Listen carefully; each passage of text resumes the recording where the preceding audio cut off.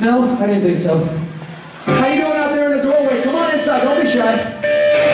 Oh, you work here. Hold on. He's got a badge and a gun. He's like, I'll be in there. Don't